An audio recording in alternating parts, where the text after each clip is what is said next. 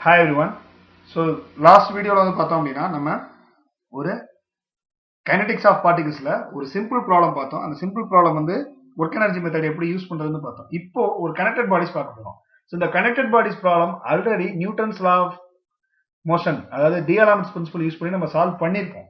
So அதே ப்ராப்ளத்தை இங்கே எடுத்துகிட்டு வந்து நம்ம ஒர்க் எனர்ஜி மெத்தடில் சால்வ் பண்ணுவோம் ரைட் ஸோ இது வந்து ஒரு connected body twenty newton eighty newton are connected by the thread are moving along the rough horizontal plane under the action of 40 newton so question தெளிவா கொடுத்திருக்காங்க applied to the weight of 80 newton as shown in figure so அதுல எங்க கொடுத்திருக்கோம் அப்படின்னு சொல்லி கொடுத்துட்டாங்க the coefficient of friction between the sliding surfaces and the weight of the plane is 0.3 determine the acceleration of weights and tension in the thread so இது வந்து DLMS பிரின்சிபல்லயே நம்ம சிம்பிளா சால்வ் பண்ணலாம் ரைட் ஸோ அதே பிரின்சிபல்ல சால்வ் பண்ணாம இது work energy மெத்தட்ல அவங்களே கொடுத்துட்டாங்க using work energy equation so இப்போ ஒர்க் எனர்ஜி ஈக்குவேஷனா ஃபர்ஸ்ட் ஒர்டன் கண்டுபிடிக்கணும் அடுத்து சேஞ்ச் இன் கைண்டிக் எனர்ஜி கண்டுபிடிக்கணும். ரெண்டு ஈக்குவேட் பண்றோம் அவ்வளவுதான்.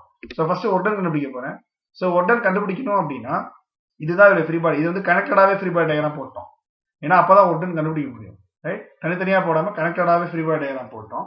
இப்போ நான் ஒர்டன் கண்டுபிடிக்கணும் அப்படின்னா ஒர்டனுக்கான ஃபார்முலா ஃபோர்ஸ் அதாவது மூவ்மெண்ட்டுக்கு தேவையான ஃபோர்ஸ் இன்ட்டு டிஸ்டன்ஸ் அப்போ மூவ்மெண்ட்டுக்கு தேவையான ஃபோர்ஸ் அப்படிங்கிறது இங்க வந்து அரிசாண்டல் மூவ்மெண்ட்ல தான் இருக்கும் ஆப்ஜெக்ட் ஸோ அப்போ அரிஜாண்டல் ஃபோர்ஸ் தான் ஒர்டனுக்கு தேவையான ஃபோர்ஸ் அப்போ அரிஜாண்டல் ஃபோர்ஸ் என்ன?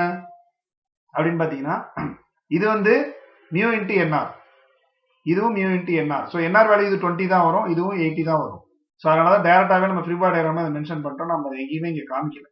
ரைட் இப்போ அரிஜாண்டல் ஃபோர்ஸ் அப்படின்னு பார்த்தீங்கன்னா இந்த friction force mu into NR இது ஒரு ஃபிரிக்ஷன் ஃபோர்ஸ் இது ரெண்டு நெகட்டிவ் நெக்ஸ்ட் இது ஃபார்ட்டி வந்து பாசிட்டிவ் இந்த டென்ஷன் வந்து பார்த்தீங்கன்னா இந்த ஆப்ஜெக்ட் அதாவது டுவெண்ட்டி நியூட்டன் வந்து எயிட்டி நியூட்டன் கொடுக்கும். எயிட்டி வந்து டுவெண்ட்டி நியூட்டன் கொடுக்கும். ஸோ அது வந்து டி மைனஸ் டி கேன்சல் ஆயிடும்.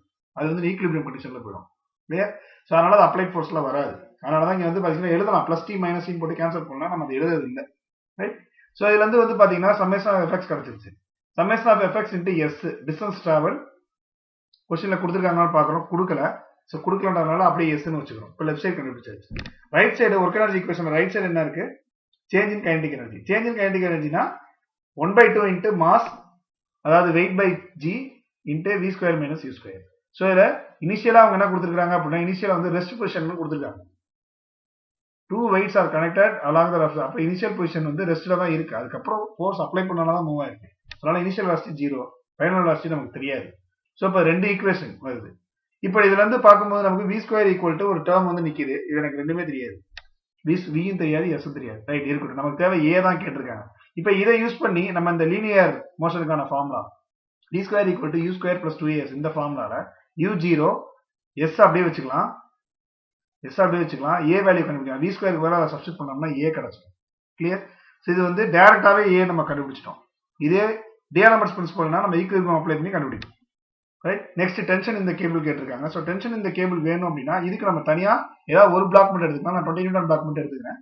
ஸோ அதோட ஃப்ரீபா டயக்ராம் வந்து ரியாக்ஷன் வெயிட் நெக்ஸ்ட் வந்து பார்த்தீங்க அப்படின்னா friction force and tension so இதுல வந்து பாத்தீங்கன்னா இதுக்கு தனியா ஒர்க் எனர்ஜி மெத்தட் இதுக்கு தனியா ஒர்க் எனர்ஜி மெத்தட் நான் போடும்போது work done equal to force into டிஸ்டன்ஸா அப்போ ஃபோர்ஸ் அப்படிங்கிறது என்ன வரும்? டி இந்த இந்த பிளாக்கு மட்டும். T minus friction force into S வந்துருமா?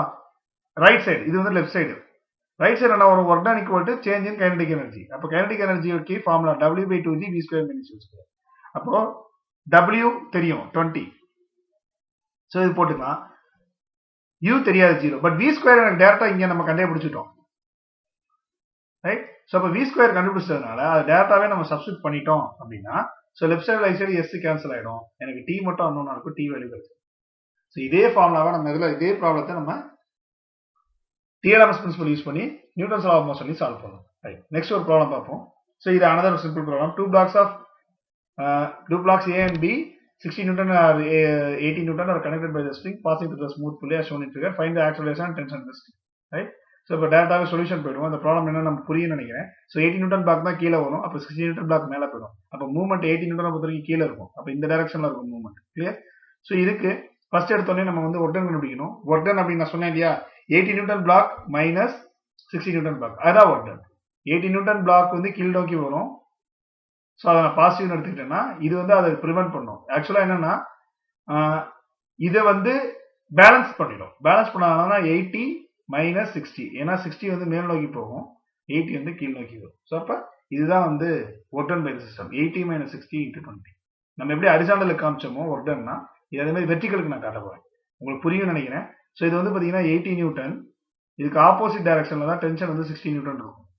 இது எயிட்டி இது சிக்ஸ்டினா இப்போ ஆட்டோமேட்டிக்காக நமக்கு என்ன வந்துடும்னா டுவெண்ட்டி தான் வரும். அப்போ twenty years clear left side right side வந்து பார்த்தீங்கன்னா நமக்கு change in internal energy so change in internal எனர்ஜியை பொறுத்த வரைக்கும் ஃபர்ஸ்ட் வந்து பார்த்தீங்கன்னா டபிள்யூ இன்ட்டு வி ஸ்கொயர் ஃபர்ஸ்டோடையது இது வந்து செகண்டோடது W by two G into V square minus U square so இதெல்லாம் initial velocity zero so final velocity அப்படியே வச்சுக்கிறோம்.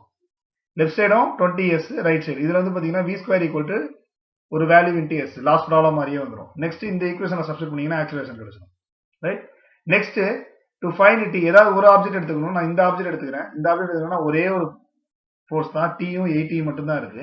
அப்போ நான் இங்கே வரும்போது eighty minus T into S equal இந்த மாதிரி நான் சப்ஸ்ட் பண்ணிக்கிறேன். இதை சப்ஸ்ட் பண்ணும்போது எனக்கு ஆட்டோமேட்டிக்காக எஸ் எல்லாமே கேன்சல் ஆகி டி வேல்யூ கிடைச்சு right thank you so next ஒரு ப்ராப்ளம் பார்ப்போம். இதே மாதிரி சிமிலர் ப்ராப்ளம் இதுவும் அதே மாதிரி two blocks hundred and twenty ஒன்று ஹண்ட்ரட் நியூட்டன் ஒன்று ஸோ ரெண்டுமே ஒரு ரோ கட்டையா இருக்கு. இதில் வெலாசிட்டி கொடுத்துருக்காங்க. Initial velocity one meter per second final velocity two meter per second so எவ்வளோ டிஸ்டன்ஸ் மூவ் ஆகும்னு கேட்டிருக்காங்க. அண்ட் ஆல்சோ கால்குலேட் டென்ஷன் இந்த ஸ்ட்ரீம் ஸோ இதுவும் ஒர்க் எனர்ஜி மெத்தட் தான் யூஸ் பண்ண சொல்லியிருக்காங்க. பட் இதே ப்ராப்ளமா நியூட்டன் ஆஃப் மோஷன் நம்ம சால்வ் பண்ணலாம். ரைட் தனித்தனியாக ஃப்ரீ பாடி போட்டு பண்ணலாம். ரைட் இப்போ ஃபர்ஸ்ட் ஒர்க் எனர்ஜி மெத்தட் பொறுத்த வரைக்கும் ரெண்டு தான். ஒன்று மேலே உடன் கண்டுபிடிக்கணும். ஸோ உடன் கண்டுபிடிக்கும் போது ஒன் டுவெண்ட்டி இந்த டேரக்ஷனில் தான் மூவ்மெண்ட் இருக்கும். ஸோ டேரக்ஷனில் இருக்கக்கூடிய பாசிட்டிவாகவும் அதுக்கு ஆப்போசிட் டேரக்ஷனில் இருக்க நெகட்டிவாகவும் எடுத்துக்கணும். ஸோ இந்த நெகட்டிவ் பாசிட்டிவ் கன்ஃபியூஸ் ஆகாமல் பார்த்துங்க. எடுத்துட்டோம் அப்படின்னா அது வந்து twenty twenty years left side right side வந்து பார்த்தீங்கன்னா change in kinetic energy so kinetic energy வந்து பார்த்தீங்கன்னா ரெண்டு கைனடிக் எனர்ஜி ஸோ இது தனித்தனியாக போடலாம் ஒன்றாவும் போடலாம். So hundred plus one twenty divide by two into G value into V square minus C square so ரெண்டு வெலாசிட்டியுமே கொடுத்துட்டாங்க. போட்டோம் அப்படின்னா எஸ் கிடச்சிடும். டிஸ்டன்ஸ் ட்ராவல் கிடச்சிடும். அதான் கொஸ்டின் கேட்டிருக்காங்க. ஹவு மச் டிஸ்டன்ஸ் ட்ராவல் டேரக்டாகவே கிடைச்சிருச்சு. நெக்ஸ்ட் வந்து பார்த்தீங்க அப்படின்னா டென்ஷன் இந்த ஸ்ட்ரிங் ஸோ டென்ஷன் இந்த ஸ்ட்ரிங்கை பொறுத்த வரைக்கும் ஏதாவது ஒரு பிளாக் நம்ம கட் பண்ணி எடுத்துக்கலாம். லைக் இப்போ ஹண்ட்ரட் நியூட்டன் எடுத்துக்கிறோம் இல்லை ஒன் டுவெண்ட்டி நியூட்டன் எடுத்துக்கிறோம் அப்படின்னா ஒன் டுவெண்ட்டி நியூட்டனை மட்டும் நம்ம எடுத்துட்டீங்க அப்படின்னா ஒன் டுவெண்ட்டி டென்ஷன் ரெண்டே ரெண்டு தான் ஃபிக்ஷன்லாம் கிடையாது. ஸோ ஒன் டுவெண்ட்டி பாசிட்டிவ் எடுத்துக்கிறேன். ஏன்னா அதான் மூவ்மெண்ட்டை கிரியேட் பண்ணுது. இங்கே ஒர்க் கண்டுபிடிக்கும் போது மூவ்மெண்ட் எந்த டைரக்ஷனில் ஆப்ஜெக்ட் மூவ் ஆகுதோ அது பாசிட்டிவ் அது எது தடுக்குதோ அது நெகட்டிவ் அப்போ டவுன் நம்ம மாற்றி எடுக்கக்கூடாது. எந்த டைரக்ஷனில் மூவ் ஆகுமோ அந்த டைரக்ஷனில் கூடிய ஃபோர்ஸ் பாசிட்டிவ் அதுக்கு ஆப்போசிட் இருக்கிறது நெகட்டிவ் ஸோ அதனால தான் பார்த்தீங்கன்னா ஒன் டுவெண்ட்டி பாசிட்டிவும் டிஏ நெகட்டிவ்னு எடுத்துருக்கோம் ரைட் ஒர்க் அதே மாதிரி right side change in kinetic energy W by two G into V so டபிள்யூன்றது நமக்கு தெரியும் ஒன் டுவெண்ட்டி வேல்யூ ரைட் இது வந்து இதுவும் தெரியும். இது சப்ஸ்டிட் பண்ணோம் அப்படின்னா இது வந்து இங்க வந்து இன் டர்ம்ஸ் ஆஃப் எஸ் அப்படியே இருக்கும். எஸ் வேல்யூ நமக்கு தெரியும். டி மட்டும் தான் அன்னோன் ஸோ ரைட் சைடு எல்லாமே நமக்கு தெரியும் நோன் வேல்யூ ஸோ இது வந்து டி கிடைக்கும் ஸோ இது ஒரு சிம்பிள் மெத்தட் தான். பட் லாஜிக் படி பார்த்தீங்கன்னா கொஞ்சம் அண்டர்ஸ்டாண்ட் பண்ணிக்க கொஞ்சம் கஷ்டமா இருக்கும். ஒரே ஒரு விஷயம் என்னன்னா பாசிட்டிவ் மைனஸ் போகும்போது எந்த டைரக்ஷன்ல ஆப்ஜெக்ட் மூவ் ஆகுதோ அந்த டைரக்ஷன்ல கூடிய ஃபோர்ஸ்லாம் பாசிட்டிவ் அதுக்கு ஆப்போசிட் டைரக்ஷன் வந்து நெகட்டிவ் இப்போ இதுல வந்து பார்த்தீங்கன்னா ஒன் டுவெண்ட்டி கீழ் நோக்கி வரும். அப்போ ஒன் டுவெண்ட்டி கீழ் நோக்கி வந்ததுன்னா அது பாசிட்டிவ் டவுன்வர்ட் இருக்குது பாசிட்டிவ் அப்போ இந்த ஹண்ட்ரட் வந்து இதை ப்ரிவென்ட் பண்ணும். அதனால அது நெகட்டிவ் ஸோ இந்த ஒர்டர் கண்டுபிடிக்கும் போது இந்த சேலஞ்ச் மட்டும் கொஞ்சம் நம்ம பார்த்துக்கணும். ஓகே ஸோ இதை ஈஸியாக பார்த்துக்கிட்டோம் அப்படின்னா அந்த மெத்தடோட கம்பேர் பண்ணும்போது ஈஸியாக இருக்கும். பட் அது வந்து நம்ம எல்லா யூனிட்லையும் போடுற மாதிரி சிமிலர் மெத்தட்ஸாக இருக்கும். இது கொஞ்சம் புதுசாக இருக்கும். சரி ஏதாவது டவுட்ஸ் இருந்ததுன்னா கமெண்ட்ஸில் போஸ்ட் பண்ணுங்கள் உங்களுக்கு ஏதாவது ப்ராப்ளம் தெரியல அப்படின்னாலும் அதை மார்க் பண்ணி போடுங்க. ஸோ அதுக்கான சொல்யூஷனை நாங்கள் கமெண்ட்ஸ்லேயே கொடுப்போம். நான் தனியாக வீடியோ பண்ணி போடுவோம். நெக்ஸ்ட் வந்து இந்த ஒர்க் எனர்ஜியில் வந்து ஸ்ப்ரிங் ப்ராப்ளம் வரும். ஸ்ப்ரிங் அண்ட் ஸ்டிப்னஸ் வச்சு. ஸோ அதுதான் கொஞ்சம் ரிப்பீட்டட் கொஸ்டின் அது மட்டும் நம்ம பார்த்துட்டோம்னா இந்த ஒர்க் எனர்ஜி மெத்தட் போதும். இது ரொம்ப படிக்க வேண்டாம். இது பாஸ் ஆகணும்னு நினைக்கிறவங்க அதை படிக்காதீங்க. ஏன்னா அது கொஞ்சம் புது புதுசாக இருக்கும். பட் எல்லாமே தெரிஞ்சுக்கணும்னு நினைக்கிறவங்க அதை படிச்சீங்கன்னா கண்டிப்பாக அது உங்களுக்கு யூஸ்ஃபுல்லாக இருக்கும். Thank you thank you so much